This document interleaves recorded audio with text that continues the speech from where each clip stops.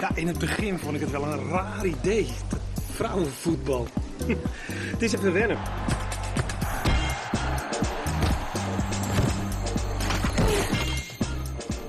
Je moet met je tijd meegaan. Dat hebben ze hier ook heel goed begrepen.